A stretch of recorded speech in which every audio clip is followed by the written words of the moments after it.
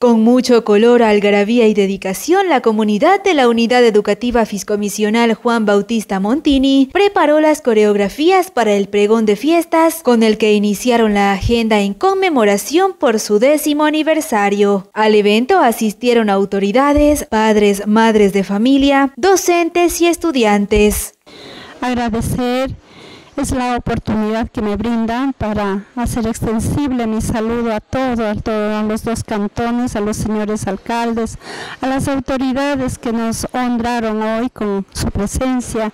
Pienso que lo estarán haciendo a lo largo de esta programación. Eh, mil gracias a cada uno de ustedes.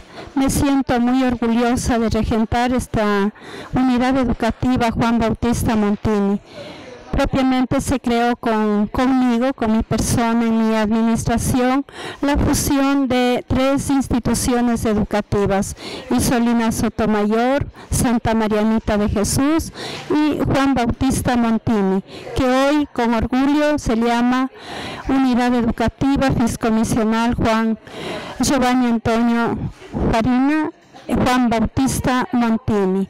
Eh, se le conoce como el Papa Paulo VI en la actualidad. Eh, agradecer a cada uno y además esperarles que nos honren con su visita a lo largo de esta programación. Empezamos hoy, lo hemos culminado con, con, una magnífica presentación de nuestros niños y jóvenes, la comunidad educativa aquí presente.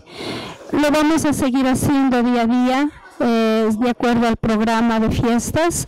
El día de mañana les invito al encuentro académico, festival de casas abiertas, proyectos educativos.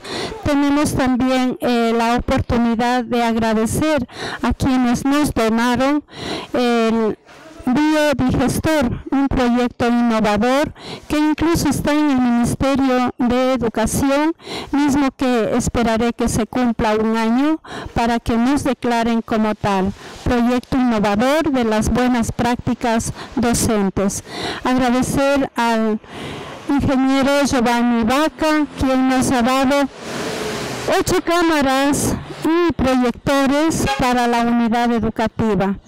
No cuento aún, pero espero el, apoyo del señor prefecto, mismo que nos hará llegar los aros y mm, van a, a el escenario del colegio Juan, como eh, Juan Bautista Montini. ¿sí? Agradecer a todos, un momento muy lindo para decir con mucho, con mucha gratitud, agradecerles a todos y expresarme con la palabra gracias que esto engloba todo. Sean bienvenidos y muchas gracias. Que vivan las fiestas Montini.